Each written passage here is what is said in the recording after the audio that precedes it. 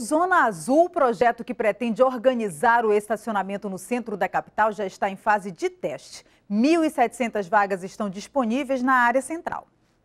O carro que parou onde é proibido acabou apreendido e o motorista multado. Essa é uma das infrações mais comuns no centro da capital. Bastante comum. É, vaga de idoso, de deficiente. A gente sempre fiscaliza. Quando tem a possibilidade de, de remoção, a gente sempre remove. Os motoristas até tentam justificar as infrações. Reclamam da falta de vagas. Muito tempo rodando para achar um lugarzinho, né?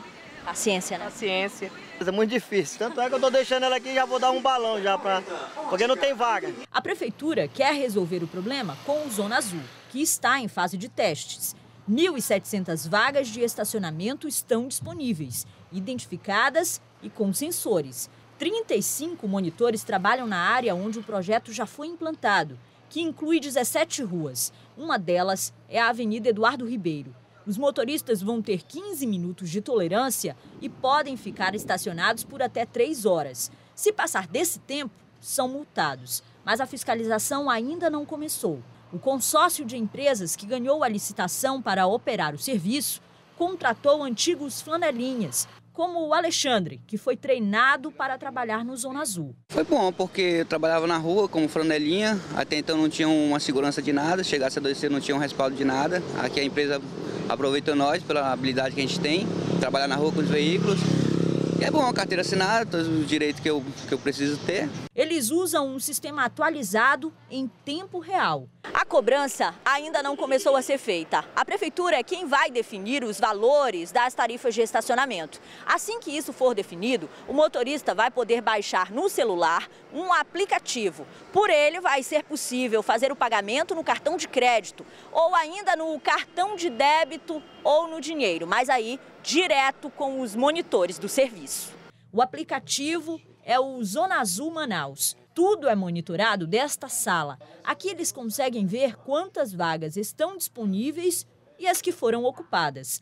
O serviço já está em plena efetividade, nós estamos trabalhando com todo a, o serviço de, de orientação, informação.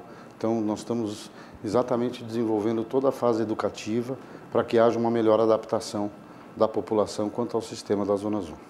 Com essas informações, é possível saber por quanto tempo os usuários costumam estacionar e as ruas mais procuradas pelos condutores. É pelo sistema que os monitores também são direcionados.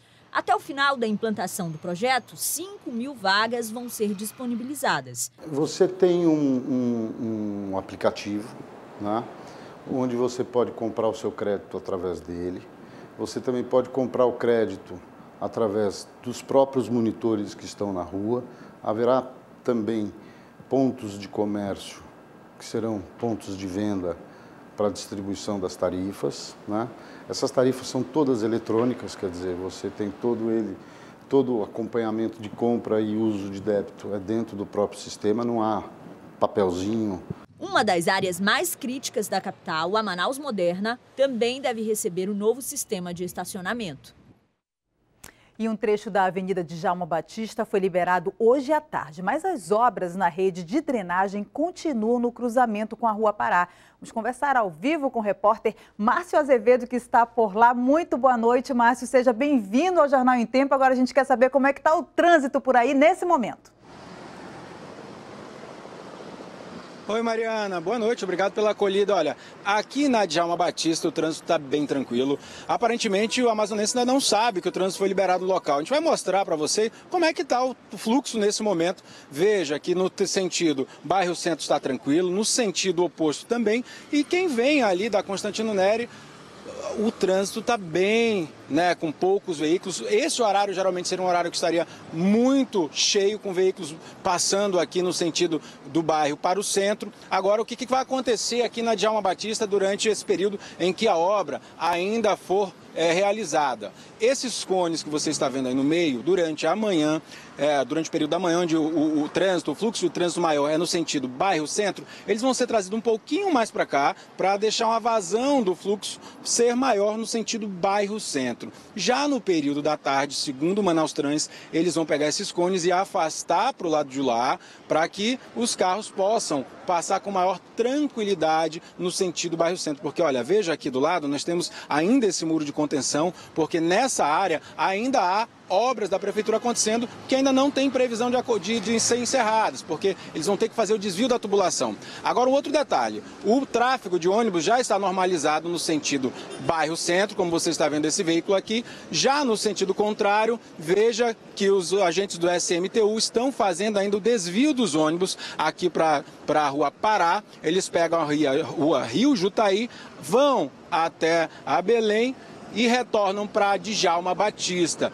Isso vai acontecer até que o serviço seja normalizado aqui na Djalma Batista. Como eu falei, hoje o prefeito de Manaus é, deu declarações dizendo que não pode precisar quando essa parte da obra vai ser concluída, porque o serviço é muito grande, é muito mais complexo do que isso que foi feito aqui nesse trecho onde nós estamos, na Djalma Batista, e foi liberado na tarde de hoje. Eu volto com você, Mariana. Obrigada, Márcia. Olha, uma boa pedida de João Batista para voltar para casa nesse horário de pico, né? E a polícia investiga a morte do filho de um dos diretores do Sindicato dos Rodoviários. Ele foi assassinado no Coroado 3, zona leste da capital.